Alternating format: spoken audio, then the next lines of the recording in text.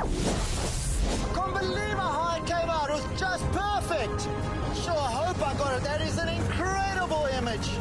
A photo you dream of. Air Jaws returned with Discovery's annual Shark Week on Sunday, and fans of the long running series were rewarded with images of amazing great white shark breaches, including this majestic picture off the shores of South Africa. They say a picture's worth a thousand words. Well, that picture is worth a thousand breaches.